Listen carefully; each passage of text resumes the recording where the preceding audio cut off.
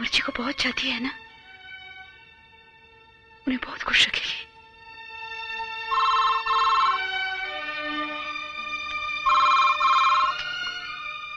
Hello? ताइजा? वीरेन? जी ताइजा।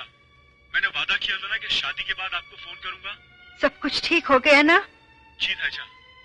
भगवान तुम दोनों को खुश रखे। ताइजा अब तो आप आ जाइए। हाँ। पूजा के हाथ पीले होते ही मैं तुम दोनों की बलाएँ लेने के लिए आ जाऊँगी। मैं इंतज़ार करूँगा। अच्छा। ओके बाय भगवान तुम दोनों को खुश रखे। ताइजा अब तो आप आ जाइए। हाँ पूजा के हाथ पीले होते ही मैं तुम दोनों की बलाएँ लेने के लिए आ जाऊँगी। मैं इंतज़ार करूँगा। अच्छा। ओके ताइजा